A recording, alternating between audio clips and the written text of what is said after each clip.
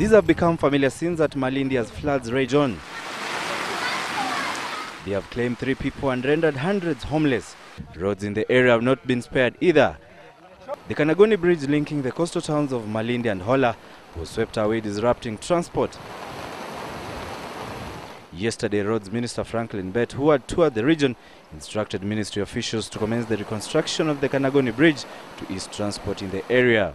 Reports indicate that some of the victims have developed abdominal pains and vomiting which are being linked to the floods.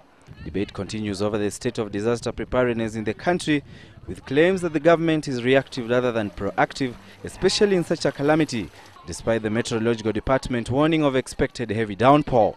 Michael Mayaka, Citizen TV.